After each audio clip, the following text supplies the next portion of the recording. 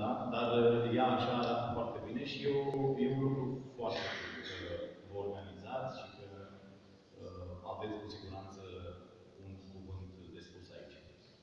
Uh, mi-au fost propuse câteva teme, mi-au plăcut foarte tare, toate.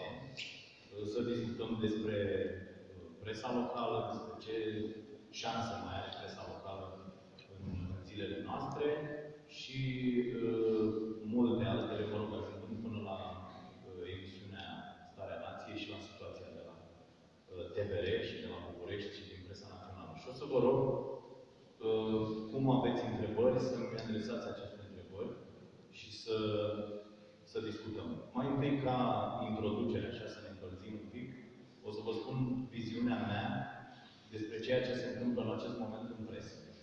Și poate pe unii o să-i dezamăgesc spunând că ceea ce se întâmplă în România se întâmplă peste tot în lume.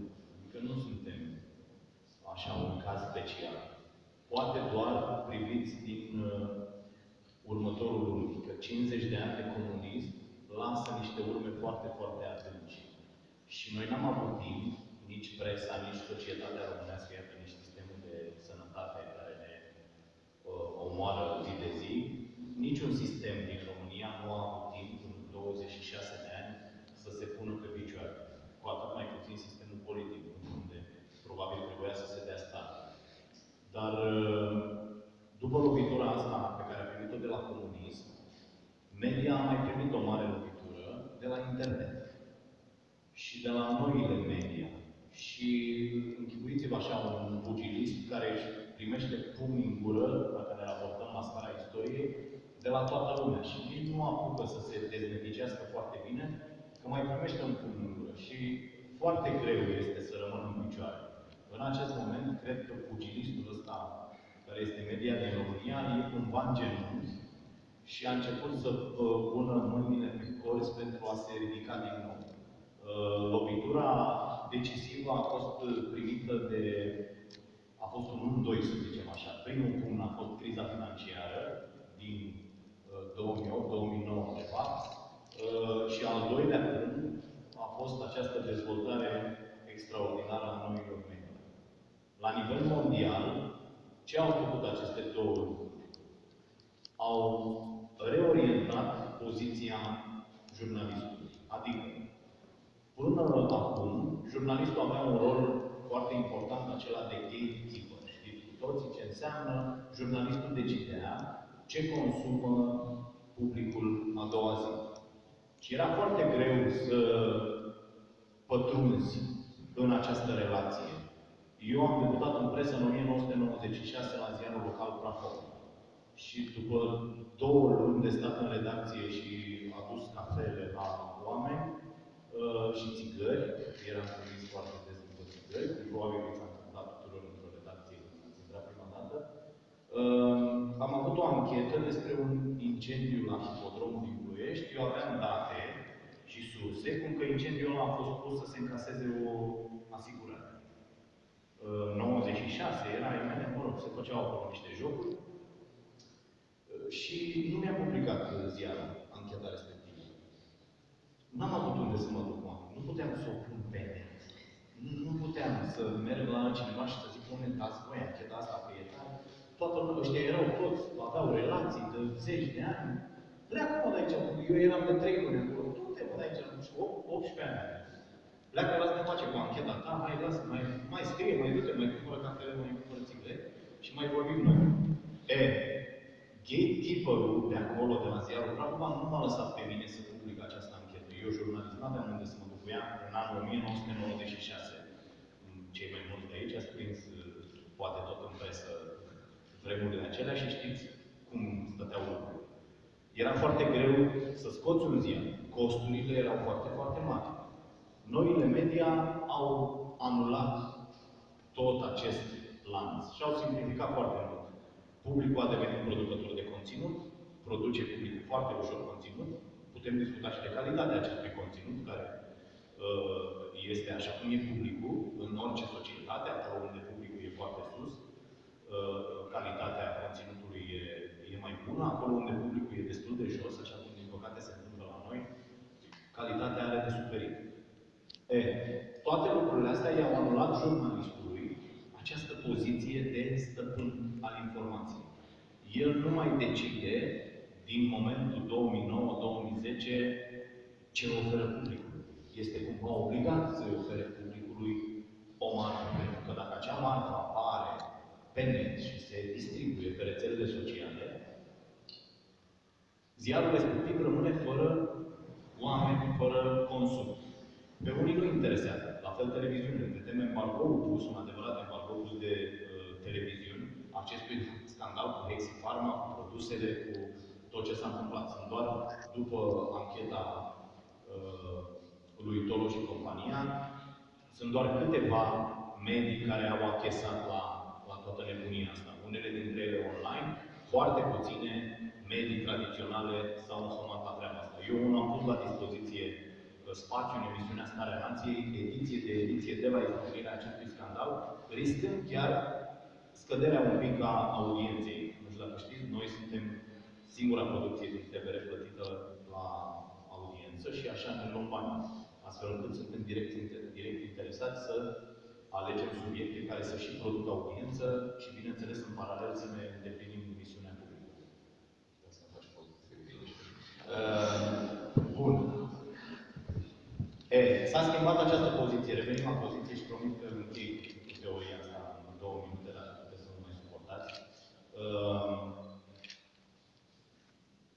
poziția jurnalistului s-a schimbat. El nu mai este gatekeeper și atunci el a trebuit să se reorienteze. Ce a făcut jurnalistul la nivel mondial? Repet, nu este situația, nu este un studiu de caz din România. Jurnalistul care stătea, ca să vă faceți o idee, cu o portavoce, avea oameni în spate, avea publicul în spate și urla la cine? La corporații și la instituțiile statale. Asta făcea jurnalistul. Era watchdog, era câinele de bază al democrației, ceea ce învățăm cu toții la facultate și așa mai departe. Domnule, jurnalistul e câinele de bază al democrației. E, îi păzea pe oameni de abuzurile pe care le făceau deopotrivă corporațiile și instituțiile statului. Odată cu apariția noilor media, jurnalistul și-a pierdut această poziție și a rămas cumva, băi, ce fac? Ăștia oameni stă aici, dar urlă și ăștia și-au luat toți portafoli, țipă, la stat, la... Unde să mă duc? Și atunci avem, revin un pic la cazul românesc, avem jurnaliști care s-au dus și au zis, alo, instituțiile de forță ale statului, e trimis și cu noi să stăm aici să vă păzim? Și ăștia au zis, cum să nu poftiți, domnii, doamnele, vă rugăm frumos, știți care sunt. Uh, da, cum să nu? Și atunci ei s-au făcut câinii de bază a instituțiilor de forță ale statului. A, ați văzut când are statul o problemă? Cartelele, serviciile, ați auzit scandalurile astea, da? Cartelele telefonice, servicii. Ați văzut? Uitați-vă, dați o căutare pe net, dați Google și ziceți, uh, domnule, hai să vedem cine a fost cel mai vocal jurnalist, cea mai vocală jurnalistă, cel mai vocal site, pentru care a susținut că aceste cartele trebuie, domne, date acolo cu semnătură, vă nu să mai dea la liber, de ce să dăm la liber cartele? Și cine a urlat așa? Azi, i-ați văzut, știți cu toți. E, acei oameni apără instituțiile statului, în detrimentul publicului. Jurnaliștii și-au trădat publicul.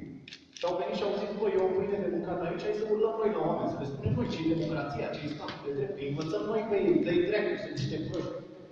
E nu funcționează lucrurile așa. Ei vor înțelege, dacă n-am înțeles, dar pe termen lung, strategia asta nu are cum să zic. Și au, au mai fost apoi jurnaliștii care au zis, bă, dacă nu mai e public, și dacă nu mai decidem noi ce consumă publicul la doua zi, și dacă publicul s-a hotărât să-și facă el conținut, și să ții pe el așa ca nebunul și să-și apere singur interesul, atunci hai să facem altceva. Să mergem la corporații care ne plătesc bine. La auzeam pe Petrișor mai devreme, mai devreme vorbim de vântul și compania, într-adevăr, și putem vorbi și de uh, Mongolia actuală.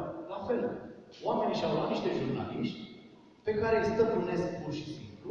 Ei apără instituțiile acelor corporații. Ei n-au nicio problemă în seara. Când pun, dacă vă întrebați uitându-vă la ei, cum dorm ăștia noaptea?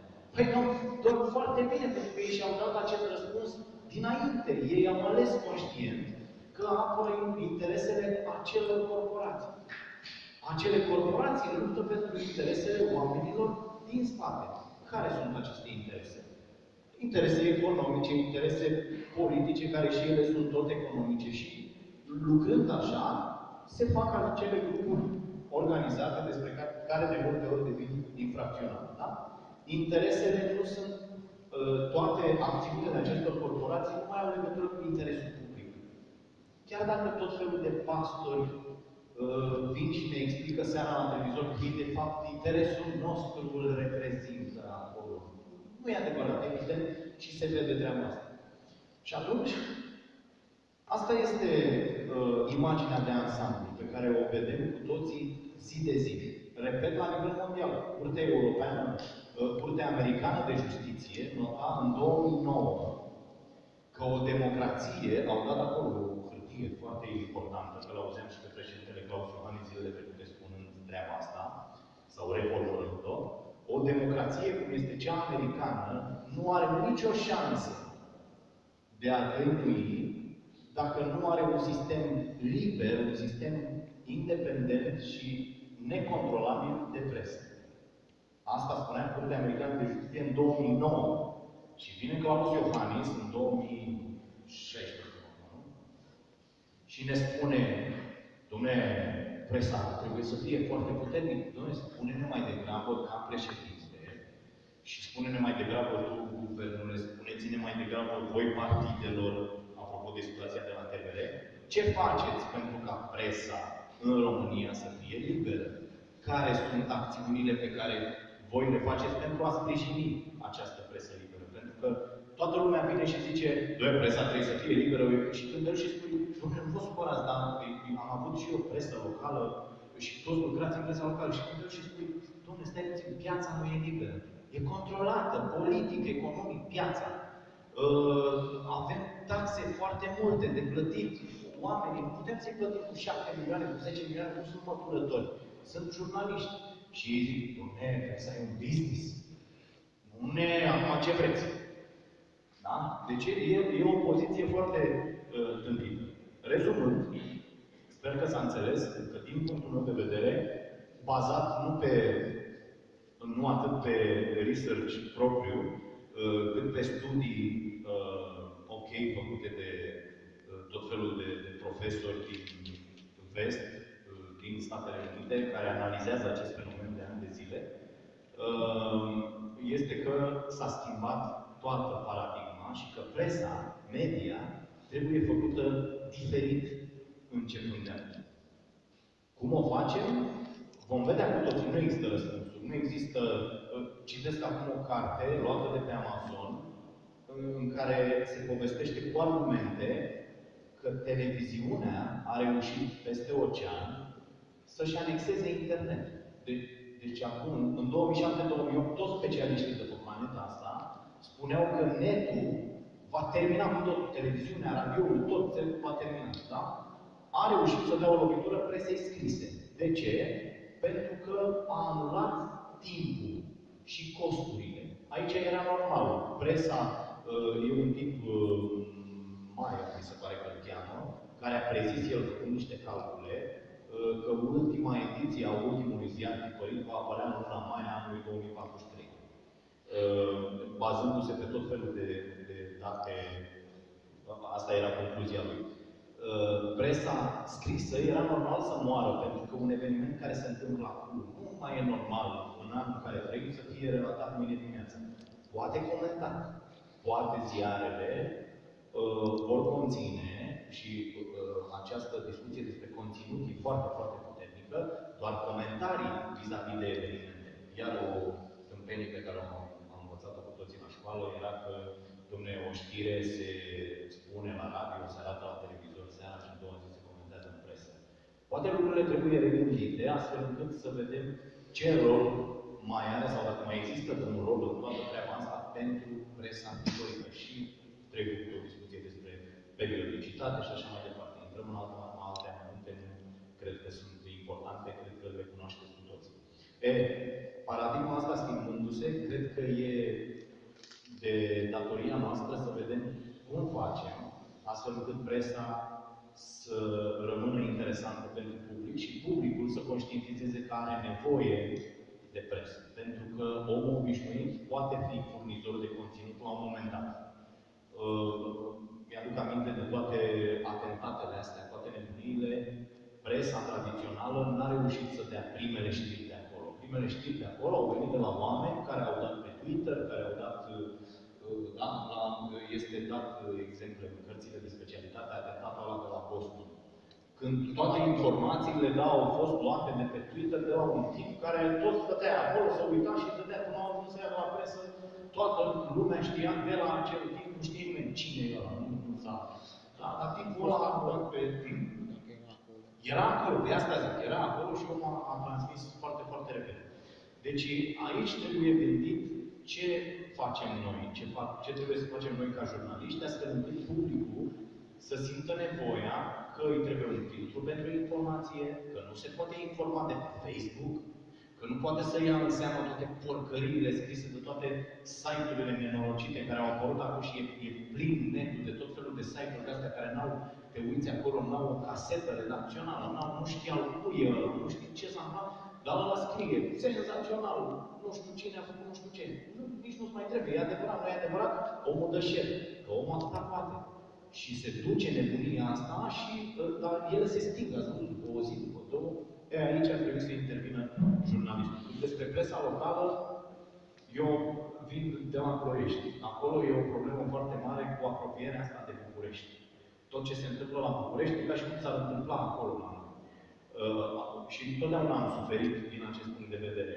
Uh, că nu puteai să faci un ziar care să se vândă dimineața la prima oră mai bine decât ziarele din București, ziarele naționale. Aici lucrurile stau cu totul altfel. După 90, ziarele din București ajungeau cu a doua ediție, ajungeau ceva mai târziu și aici am văzut că lucrurile s-au dezvoltat un pic mai ok în partea asta. E, e, e și altă lume aici, vă spun sincer. O lume pe care eu o apreciez mult mai mult decât pe cea din Sud, să zicem așa. Uh, oamenii sunt mai așezați, mai ok, mai N-am, n-am primit nicio înjurătură pe la stopuri, pe la ceea ce mi se pare incredibil. Că uh, vin dintr-un loc unde ne înjurăm la stop ca nebunii toată ziua. Cum? Să stați mai mult. Da, să stăm mai mult. Ok. Bine. Deci asta uh, am zis să o facem așa ca introducere ca să vedeți opinia mea despre ceea ce se întâmplă. Și vă propun acum să intrăm într-o discuție și să vedem ce poate să iasă bun din întâlnirea asta noastră, dacă vreți. E absolut categorie importantă. Da. Atomist, categoria jurnalistului care nu poate să pune la dispoziția uh, instituțiilor de forță, dar chiar să se conducă. Și sper că nu în cunoștință de cauză. Avem aici un jurnalist care e candidat la primărie și jurnalul este la dispoziția. care îl susțin. Bun.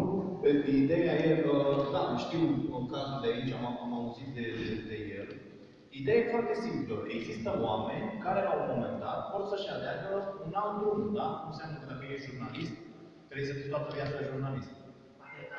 Informați. Nu, nu, nu, nu. Eu nu. Dar există jurnaliști care... Da.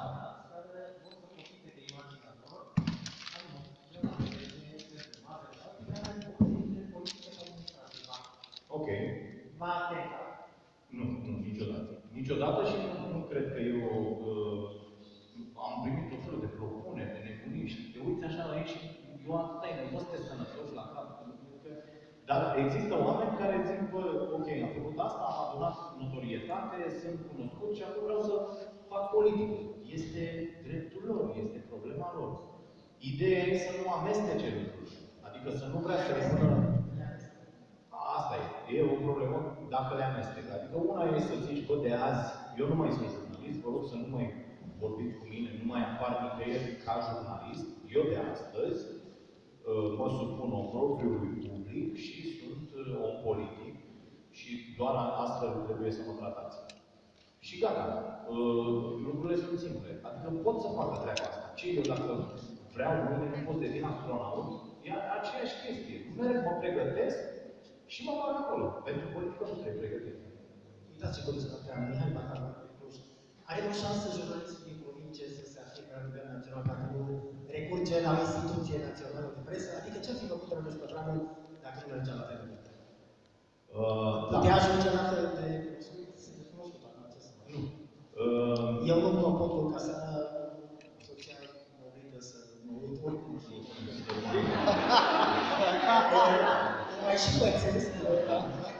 foarte târziu. Da. Dormim după dimineața seria, da, târziu. Dimineața trebuie să scriem materialele ca să nu ne copieze. Mi-a spus cineva, uh, acum un an jumate, când era Duran înaintea mea, că mult mai bine se face sex pe emisiunea mea decât pe, pe ceva cu Da. Asta mi-a spus cineva și am zis, ok. Uh, Bun. Serios vorbind, aici e nevoie de nu doar de multă ambiție și să te ridici de fiecare dată când unul prostii din astea ați auzit o grămadă, niciunul. Dar uh, e vorba și de foarte mult noroc. Și e adevărat că norocul și mai face și omul. Adică dacă îți dorești, eu până în 2012 nu mi-am propus să plec din Ploiești.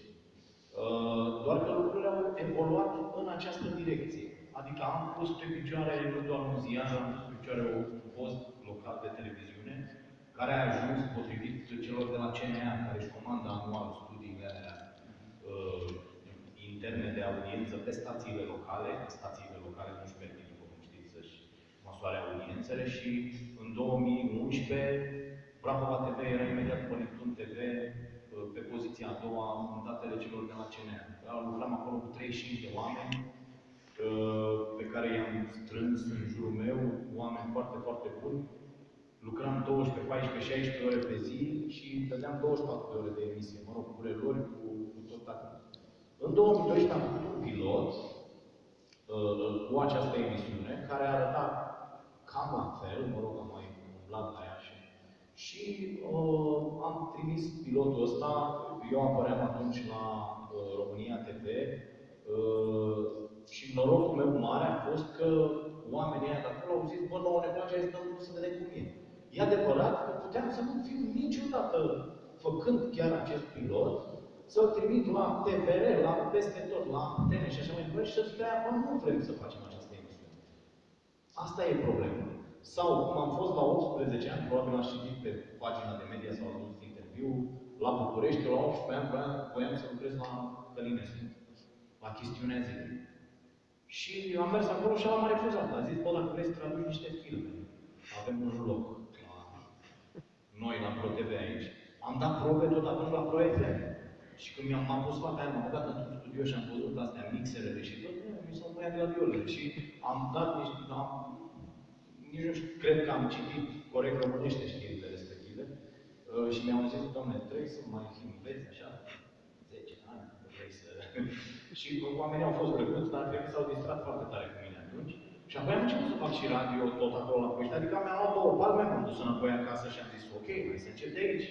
Și du-te la Radio Contact și stai vreo patru ani de zile pe acolo. Și apoi un ziar, dar ideea e cât de mult îți dorești să faci treaba asta, să faci meseria asta și ce, ce sacrificii ești dispus să faci pentru ea. Pentru că noi aveam în redacție, la noi mai ales la ziar, la, am făcut fair play de făcut un ziar de sport în 2000, deci mă cam convinși toată ziua, nu ne-am plătit luni întregi, nu, nu era, adică era o chestie, o făceam acolo și știam că o să moară foarte repede, că nu o să putem să facem nimic. Și am încercat, eu. Am condus lucrurile astea doar pentru că dintre toți cei care au pornit la, la pe care i-am păcălit să vină, era singurul care să pricepea cât de cât, avea un spirit ăsta antreprenorial Domnule, hai că merg eu, vorbesc cu ea, vedem, dacă găsim bani dincolo, facem un contract și așa mai departe. Că ceilalți erau de acolo, îi scrie, nu face. Și uh, așa merg lucrurile. Deci, cei care vor să intre, să vină, să lucreze, uh, trebuie să aibă foarte multă dorință, să fie dispus să facă sacrificii pentru ideea asta, dar și să aibă un pic de noroc. Pentru că nu se poate fără. Adică, dacă emisiunea, gândiți-vă ce se întâmpla dacă emisiunea, odată intrată în sistem, e mult mai ușor, pentru că poți să demonstrezi ce faci. Uh, uh, efortul foarte mare și chinul imens este până intri acolo. Eu în 2012 am intrat cu emisiunea la România TV și am avut după patru ediții, ea era săptămânal, și am început să am audiențe comparabile cu ceilalți de pe, de pe același segment, pe posturile de știri. Și oamenii au zis, ok, noi audiență, livrăm audiență, hai, dă drum. și am intrat în fiecare zi. Apoi a venit TVR-ul și a zis, domnule, nu știu ce a fost plecat cu TVR-ul atunci, și TVR-ul a zis, domnule, vrem începând cu tine să pornim o campanie de întinerire uh, și de a readucere a publicului și a publicului tânăr în special la televiziunea națională. Wow, mi-a plăcut ideea, pentru mine STCM TVR era, bă, m-au convocat ăștia la echipa națională, e o chestie senzațională, hai să mă duc. Și am plecat fără să mă uit în urmă, ba chiar acceptăm niște condiții care erau mai proaste decât dincolo. Dar am cerut că dacă fac performanță, să fiu plătit în funcție de această performanță. Și la fiecare treaptă de audiență să mi se mai dea niște bani. Ei au acceptat în ideea că segmentul, în 2014, segmentul pe care funcționez eu acum era undeva la 0304. Și ei mi-au zis, uite, faci unul pentru banii ăștia, minim, pe care, a, ăștia bani pe care noi putem să ți dăm. Și a zis, ok, și peste unul ăsta ca audiență, și ei au râs de mine atunci și au zis, cum adică peste unul? Ești nebun. Unul face Moise, care e, e, e. Și am zis, nu domnule, noi vom face vreo 2,5, 3. Și am zis, ok, hai să ne puneți niște bani acolo. Și eu am început să pun 1,2, 1,4, am făcut niște trepte de audiență și asta a fost propunerea mea de contract, pe care am semnat-o fără probleme, Consiliul de Administrație, toată lumea. Și în prima lună am făcut 1,4 medie și după aia n-am mai coborât sub 2,5. Niciodată. Și le-am luat toți banii. Dar ca, ca să ajungem, da, și ei terminați. Am avut, deci, o contabilă directoare economică săracă are nopți în care nu doarme când trebuie să pentru că le-am luat toți banii pe această performanță și e normal să fie așa. Când am mers la ei și mi-a spus, haideți toate emisiunea din prime time să aibă treaba asta acolo. Adică, bă, livrezi sau nu livrezi? Adică mie mi-apare lunea seara pe postul național de televiziune domnul Lucaci, care face zero. Bă, zero. Înțelegi? Eu n-am nimic cu persoana respectivă, dar el face zero. Ce misiune publică îndeplinesc eu când fac zero? Nu pot, n-am cum. E ca și cum ai face spectacolul la încadră. La tine, încuiat, nu te vede nimeni. Da? Nu poți să faci o emisiune la postul național, să faci zero și după aia tu să ieși din ea și să zici eu fac presă. Eu fac presă, nu mă scălui ca prostul ăla acolo și a, e adevărat, face el trei, dar eu fac presă. Aici suntem la postul național, scuze, da. O curiozitate de la scris și face Da. nu doar la subiect. Nu mă lăsați. Presa locală. Da. Presa locală. Ar putea fi un secret al, al uh, succesului și eșecului uh, presei locale. Ați căutat o publicație locală. Mhm. Da. Banii aflați în buzunar sau i-ați investit în publicație? N-am avut ce să fac. Reclama. Am zis că vreau să fac Da, da, da, n- n-aveai cum să faci în buzunar. Pentru că atunci când venea ziua de Pe rețeta de deci plată, să faci o firmă de reclamă Așa. și cenzurezi. Și îți iei bani. Păi nu, că murea, deci nu mai venea nimeni să scrie. Deci ideea e următoarea. Publicațiile locale, așa cum le-am trăit eu, da, se uh, finanțau în, în felul următor. Găseai niște bani pe undeva prin piață, care nu erau uh, distribuiți politic, și din banii aia trebuia să plătești pe toată lumea. Tu te plătești ultim. Nu prea mai ajungeau bani dacă apucai și tu să te plătești acolo, nu mai aveai ce să faci în buzunar, pentru că îi plăteai greu oameni. Asta e problema. Deci nu, Ați găsit rețeta. N-am găsit rețete, e adevărat. E adevărat, dar am și lăsat. Și zic, bă, ok, nu, înseamnă că nu știu eu să fac. Așa e. Bun, revenind aici, da.